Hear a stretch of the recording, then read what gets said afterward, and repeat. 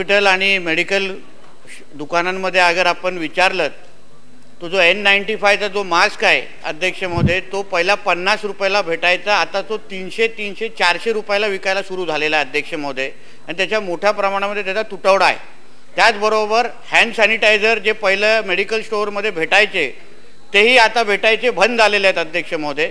म्हणून ह्या बाबतीमध्ये आरोग्य खात्याने आणि सरकारने लक्ष घालावं. कारण का त्या ह्या दोनच उपाययोजना करून आपण कॉर्नो व्हायरस थांबू शकतो. आणि अध्यक्ष महोदय आता होळी काही दिवसावर आहे.